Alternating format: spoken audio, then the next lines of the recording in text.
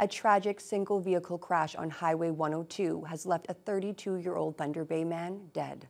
It happened around 4 o'clock this morning just west of the Mapleward Road intersection. Emergency crews arrived to find a badly damaged pickup truck upside down in the westbound ditch.